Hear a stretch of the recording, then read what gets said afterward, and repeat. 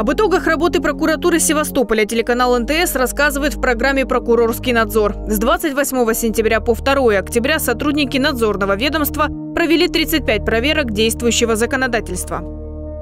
За прошедшую неделю прокуроры приняли участие в 247 судебных заседаниях по уголовным, гражданским и административным делам.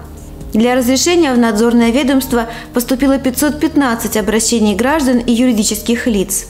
Состоялись заседания межведомственных рабочих групп по профилактике и противодействию правонарушениям и преступлениям в сфере экономики и по вопросам соблюдения прав дольщиков.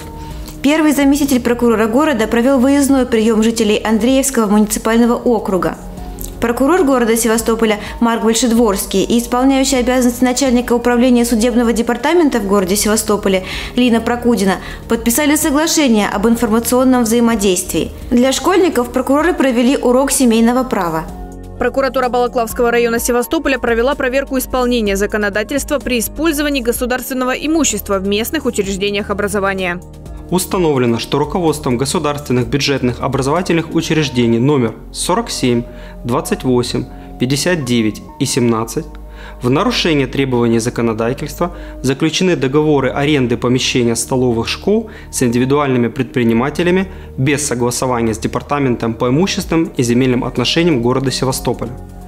С целью устранения выявленных нарушений руководителям указанных образовательных учреждений внесены представления которые находятся на рассмотрении.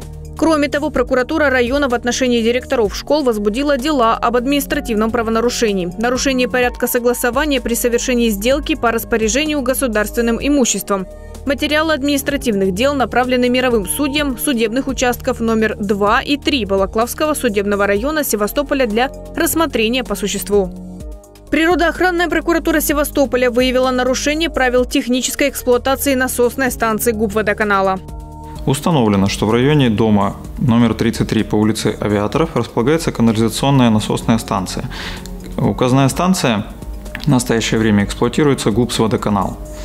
Проверкой установлено, что станция оборудована аварийным сбросом, который представляет из себя накопительный бассейн и систему трубопроводов.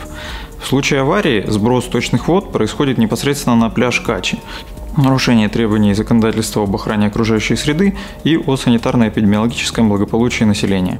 Станция принимает сточные воды от объектов жилого фонда и городской инфраструктуры и перекачивает их для последующей очистки.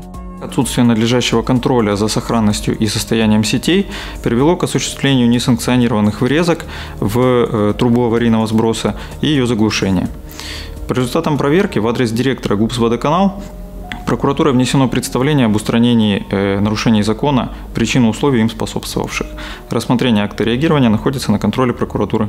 Прокуратура Балаклавского района помогла труженице тыла получить удостоверение ветерана Великой Отечественной войны.